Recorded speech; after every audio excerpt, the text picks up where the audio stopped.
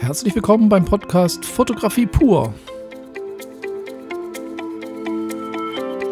Heute geht es um das Thema Exzellenz.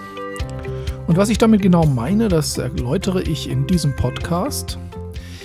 Es geht nämlich wie immer in diesem Podcast oder wie meistens um die Themen Job, Business als Fotograf oder eben auch als Künstler sich zu positionieren. Und äh, da gibt es natürlich sehr viel drüber zu sagen, aber einen Aspekt möchte ich heute ganz besonders herausstellen.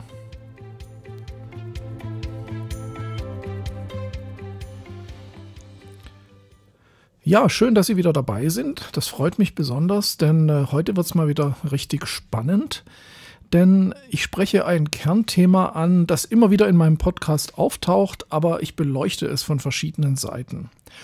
Heute geht es einfach darum, wie man sich präsentiert. Und mit dem Thema Exzellenz meine ich natürlich nicht ein anderes Wort für mein König, sondern ich meine, wie man sich präsentiert und dass man wirklich nur die allerbesten Bilder und die besten Arbeiten präsentiert.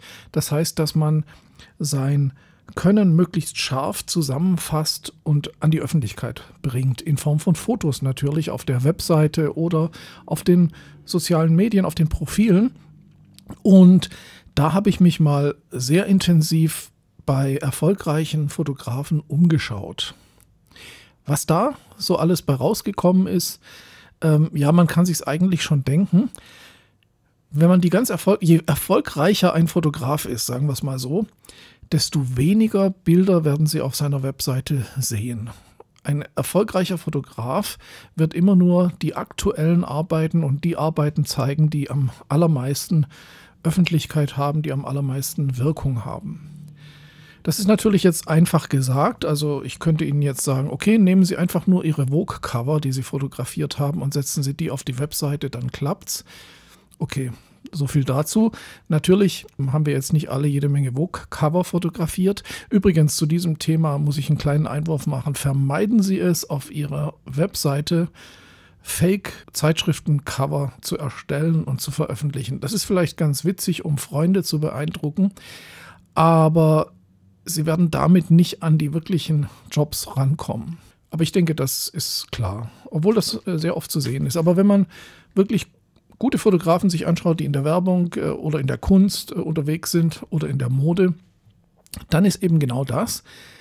Auf diesen Seiten finden Sie erstens mal relativ wenige Fotos. Also die Leute sind schon sehr lange im Geschäft und die haben wahrscheinlich tausende von guten Fotos. Es sind sehr wenige Fotos und das Ganze wirkt sehr stimmig. Warum ist das nicht so selbstverständlich? Wenn man so geht es mir eigentlich auch und ging es mir auch früher, sehr vielseitig ist. Man macht ja viele tolle Projekte und man findet seine Bilder selber auch ganz klasse und ist immer stolz auf die neuesten Bilder und möchte dann auch alles der Welt zeigen. Aber nicht alles, was wir produzieren, ist wirklich auch Spitze. Und mit Spitze meine ich auch äh, in Form von Spitze unseres eigenen Werkes. Also das sind nicht immer die besten Bilder, die wir gemacht haben.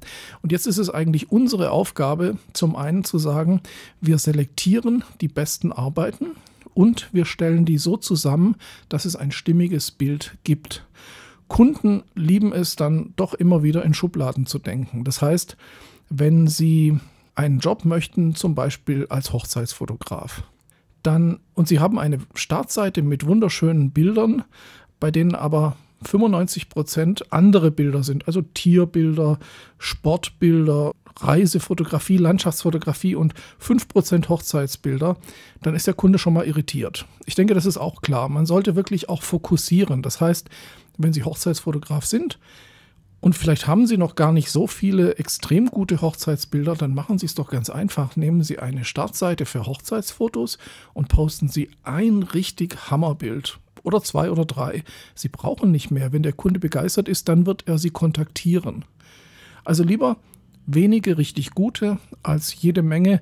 So und nach unten wird es dann immer schlechter. Das ist das eine. Natürlich können Sie sagen, ja, ich arbeite in verschiedenen Bereichen. Dann gibt es aber eine gute Möglichkeit, dann machen Sie verschiedene Portfolios. Sie können ja in Ihrem Menü sagen, Hochzeitsfotografie, äh, Fotografie, äh, Familien, Tiere, Kinder. Und dann klickten die Leute drauf und sehen eben nur diese Bilder. Also man selektiert die Themen, man wählt wirklich nur die besten Bilder und man stellt die auch so zusammen, dass sie grafisch auch gut zusammenpassen, dass es also ein stimmiges Gesamtbild gibt. Ich möchte in diesem Zusammenhang vielleicht mal wieder einen Fotografen vorstellen. Ich glaube, ich mache mir das zur Gewohnheit und werde in den meisten Podcasts, die ich hier mache, immer wieder mal einen Fotografen vorstellen, den Sie sich anschauen können. Ob Sie die mögen oder nicht, bleibt Ihnen überlassen. Aber ein Fotograf, der das auch sehr schön macht, das ist Chris Knight. Chris Knight ist im Moment ganz populär, der macht auch sehr viel Werbung in den sozialen Medien. Ich denke, er macht das ganz gut. Er verkauft Workshops und äh, Chris Knight ist ein Fotograf, der das klassische Licht beherrscht, wie fast oder wie kaum ein anderer. Und das fasziniert mich besonders, weil ich selber ja auch so ein bisschen ein bekennender ja, Lichtmensch bin. Für mich ist das Licht immer wichtiger als die Fototechnik selber. Und äh, Chris Knight ist einer, äh, ich verlinke wieder die Webseite unter diesem Podcast oder eben auch auf YouTube unter diesem Video. Und schauen Sie sich das mal an. Wenn Sie die Startseite von Chris Knight ähm, starten, also öffnen, dann haben Sie natürlich sehr viele verschiedene Bilder aus verschiedenen Genres. Er macht Werbung, er macht natürlich sehr viel Porträt und er macht auch ein bisschen Mode. Und bis auf ein paar wenige Ausreißer in dieser, auf dieser Seite äh, sind alle Bilder in einer ähnlichen Stimmung. Und wenn man sich dann die Ausreißer mal anschaut, dann sind das eben besonders berühmte Persönlichkeiten, also Bilder, die auch so ihre Wirkung haben. Wenn Sie die Seite anschauen, ich glaube, dann merken Sie, was ich meine. Und dann hat er einfach unterteilt in Porträt. Wenn Sie auf Porträt gehen, dann wird es noch stimmiger.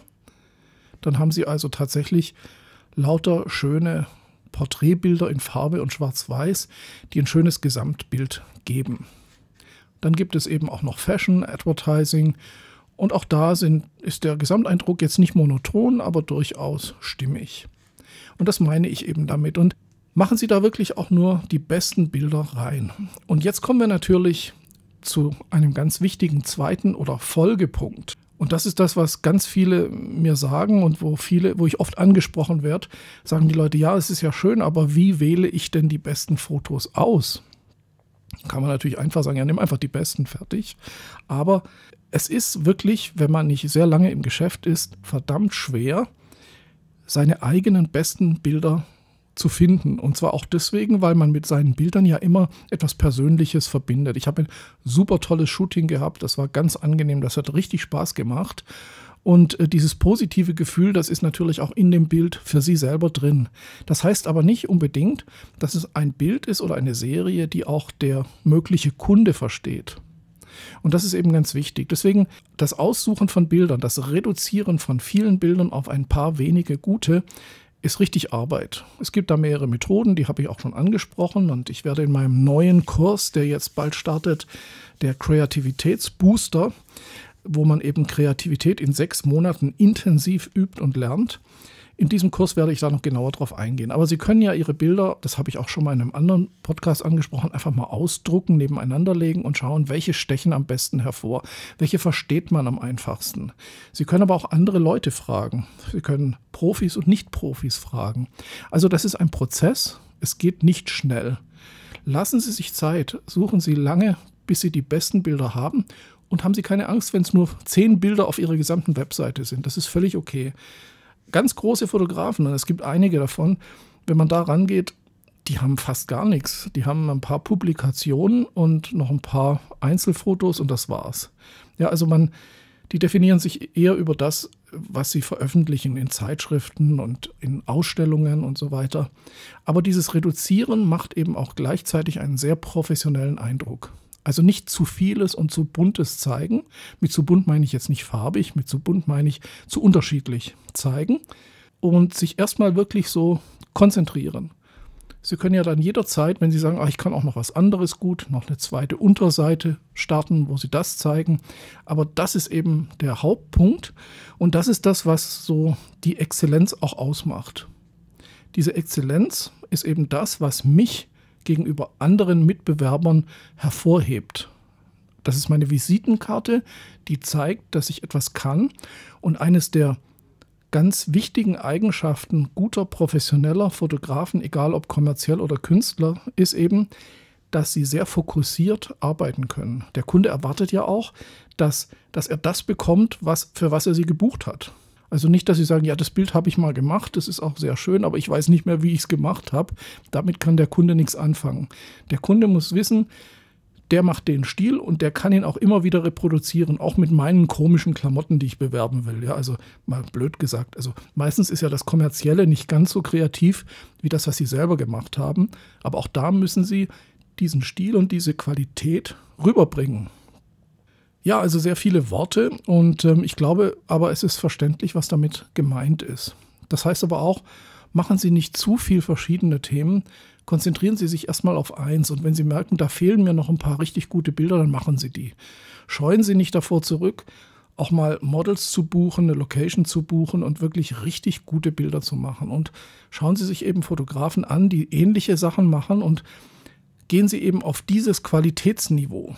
Viele machen auch den Fehler, das sehe ich sehr oft, dass sie sagen, ja, ich tue jetzt Bilder auf meine Homepage, die zum Beispiel mein Kunde, also wenn man jetzt im Privatkundengeschäft ist, sehr schön fanden. Aber das sind Bilder, die sind ganz nett, aber die sind nicht so, dass man sagen kann, wow, der kann echt noch einen Ticken mehr als andere. Und da muss man eben über dieses, naja, hat der Familie gefallen, die ich auf der Hochzeit fotografiert habe, reicht meistens nicht aus. Also da gibt es viel zu tun, viel Arbeit und es ist wirklich ein Prozess und es geht nicht schnell. Aber wenn Sie was erreichen wollen, ich glaube, da muss man da durchgehen. Und wie immer eben immer viel schauen, viele Fotografen sein äh, Portfolios anschauen, Bücher kaufen, Webseiten anschauen. Das ist, glaube ich, sehr essentiell, um eben nicht irgendwann immer so in seiner eigenen Suppe und in seinem eigenen Umfeld zu kochen. Das hat nämlich den Nachteil, man ist gerne in so einer Friend Zone oder in so einer ja, ähm, Gemütlichkeitszone, wo man sagt, hier finden mich alle gut und da bleibe ich. Ja, so kommen sie dann nicht wirklich viel weiter. Ja, das waren wieder mal ernste Worte, aber ich denke, wenn man wirklich erfolgreich sein möchte, also wirtschaftlich erfolgreich sein möchte als Künstler oder Fotograf, dann ist man eben nicht in dieser Komfortzone drin, dann äh, muss man da halt einfach auch mal raus. Ja, das ist es, was ich Ihnen äh, mitgeben wollte und äh, freue mich natürlich auch über Bewertungen und Kommentare auf iTunes, auf Spotify oder eben auch auf YouTube. Und ich bedanke mich fürs Zuhören und äh, bis zum nächsten Mal in Fotografie pur und der X-Lab Akademie. Rüdiger Schestag.